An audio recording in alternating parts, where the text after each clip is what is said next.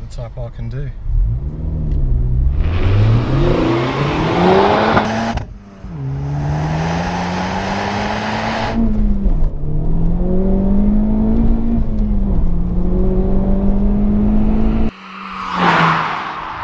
That's special.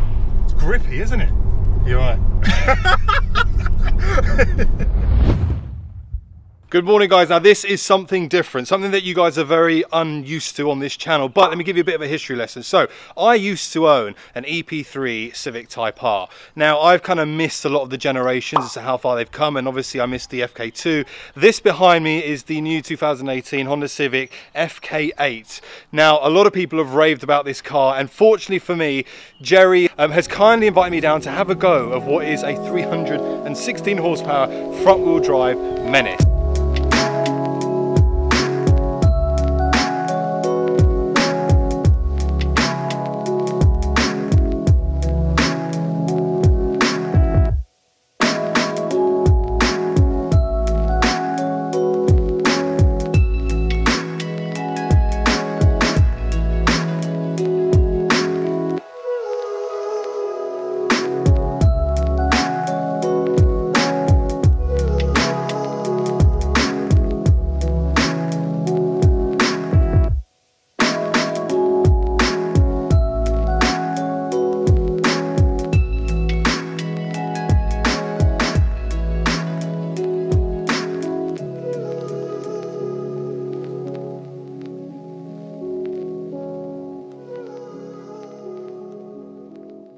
Right, so for all of you who don't know Jerry, who's sitting next to me, so Jerry is the proud owner of a uh, modified 695 Biposto. Yep.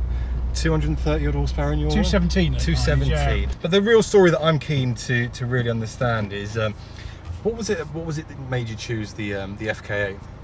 Funnily enough, we were in on holiday Yeah. in Cyprus last year, and, and big modern supermarket complex. Yeah. And they had one in there, the, the sport one with the twin exhausts. Yeah. I thought that's quite nice. It was in the battleship grey. Yeah, yeah, But um, when we came back, I just started looking because I had the E-class and I just fancied something a bit more fun. Yeah. And as I said to you, the, the idea was to uh, um, keep this. Then I could actually sell the Biposto. So I have one car that did everything. Yeah, yeah, yeah. But I just can't You sell can't the. Biposto. So you've got two Yeah. pretty awesome cars. Yeah. Oh, and this, this is um, this already. So obviously, I've, I said it earlier. I've had my own EP3. I had the final edition EP3, which I thought was absolutely amazing. It's a proper Asbo little car, and um, I'm I'm just amazed at how much more refined this car feels already.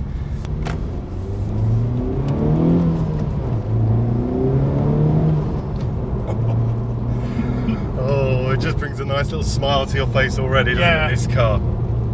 Now, obviously, what so Honda have gone. Um, so I think the key difference between this and the FK2, I think we talked about it earlier, it's the individual suspension as well. So they've gone That's away right. from the bar to individual suspension setup. Yeah, it's it's a lot more usable, Yeah. which is nice with the comfort mode as well. Yeah, It just doesn't pull yeah, yeah. the yeah. steering wheel when you plant it. And it's 316 horsepower. This one. Yeah. Still using the, the two litre engine, but obviously it's a turbocharged engine. Yeah. Uh, that in itself makes uh, a big difference. Yeah, it makes you wonder what they did for V6 or something. Yeah, oh, can you imagine? But I think that one of the first things that I noticed on this car is um, is the seating position. Um, it, it allows you to sit very low down. It's all in the right place. The steering wheel itself is a bit like a PlayStation controller. You've got a million and one different options on here, which obviously I'm not going to uh, understand right now because it's the first time I've driven this car. But it's clear that you've got a lot of functionality available to you at the touch of your fingers, which is great. But um, I think the part that I'm really looking forward to trying out is just seeing what the performance of this car is like. So um, let's find some good roads and let's hit this. Yeah.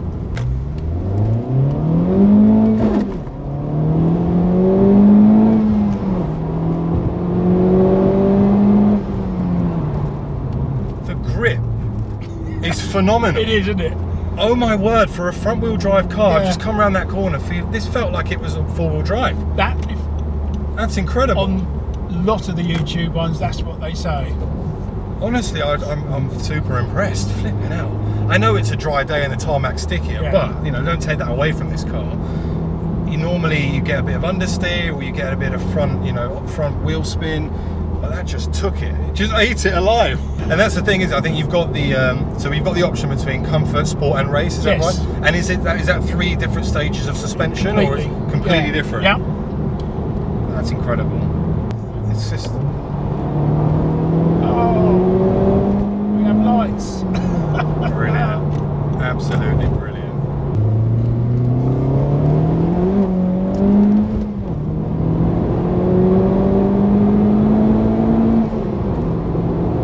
Oh,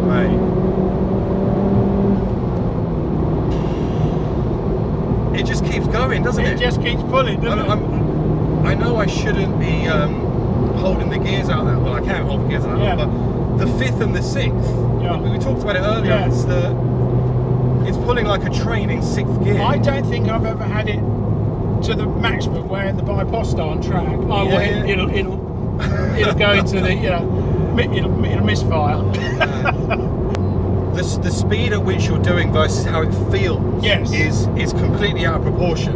Yep. Um, you know, you're doing some spirited driving, and I think it feels more like a 40 to 50 mile an hour speed limit. It's it's insane, and I think a lot of that is down to the, is obviously down to the aero as well, keeping that park car planted, the suspension setup, which is great. and I think I think Honda. We're not in R, are we? We're not in R.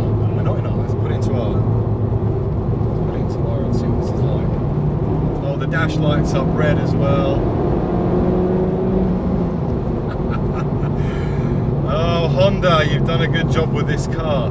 But where, where do they go next with this? Well, this is what we were saying, isn't it? Where do they go Where next? do you go next? to to produce a front wheel drive car this good 300 and close to 320 horsepower that lays the power down perfectly Yeah. what do you do next you know you 169 miles an hour. 169 miles an hour 100 miles an hour over the limit. It's- prison. Here I come. yeah it is a license taker this car absolutely um, and I mean the gearbox the throw on the gears is fantastic absolutely brilliant and the thing that I really love about it is the rev engine I mean I know I've, I've mentioned earlier on I can't stop mentioning it I thought that was you, Uh, yeah. Stef. It does. It does make you look like some sort of a hero driver. You know, you do have that Lewis Hamilton feel, Yeah. but uh, it feels a little bit alien to start with because you're used to doing it yourself. Yeah. But um, but it's perfect. It just makes it re-engage in the gears that much. Look at this. I mean, into fifth, perfect rev match. Into fourth, it's great. I think from a looks perspective, I think the front of this car looks so aggressive. It's so much wider as well. Yes. I think if I if I was driving and I saw the front of this coming up in my rearview mirror, the first thing I'll do is pull over. Absolutely. I think the rear of the car for me is very Star Trek. Yep. It's super, super. There's lines everywhere, square shapes everywhere. I think that's exactly what Honda are about. Yeah. I think that's their thing. It's what they do. It's uh, take something great and make it crazy. That's kind of Honda's ethos, isn't it? And um, I think they've done a fantastic job with this car. I really, really do. Okay, so we're on some B roads now. Let's um, let's see what this bad boy's like. So we're in race R. Let's see what the Type R can do.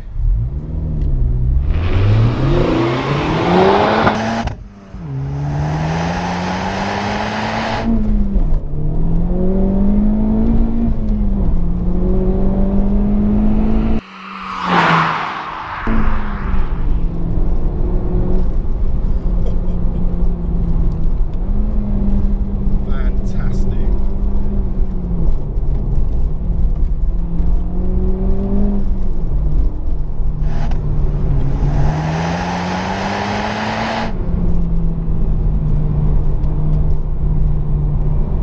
Oh mate, that is uh, that's special.